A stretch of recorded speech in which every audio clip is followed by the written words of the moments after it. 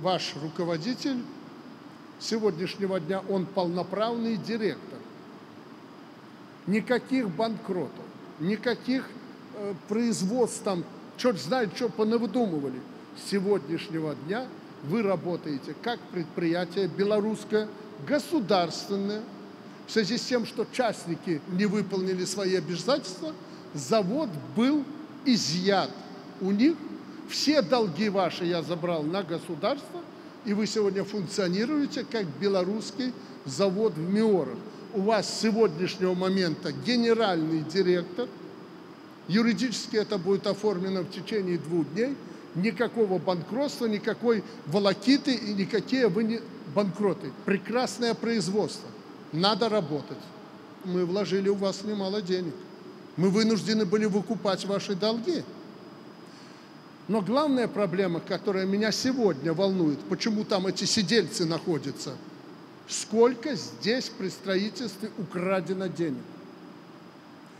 При первом приближении все специалисты говорят, что здесь полмиллиарда стоил завод. Завод столько стоить этот не может. Это мы видим в первом приближении.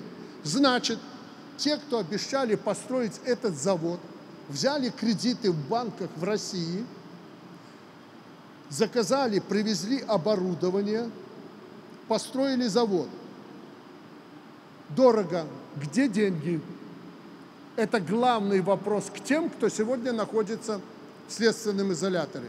И пока они мне не скажут, откуда они возьмут деньги, чтобы компенсировать государству эти затраты, вам, они будут до скончания света там сидеть если они не поняли, что в Беларуси рано или поздно с тебя спросят, где украл и сколько украл.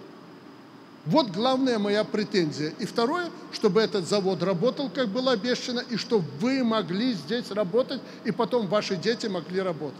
В обиду мы никого из вас не дадим. Поэтому вы можете спокойно работать. Будут вопросы, задайте губернатору, помощнику или своему руководителю он мне доложит о ваших проблемах. Но завод будет работать именно так, как мы когда-то мыслили. Вот цель моего приезда.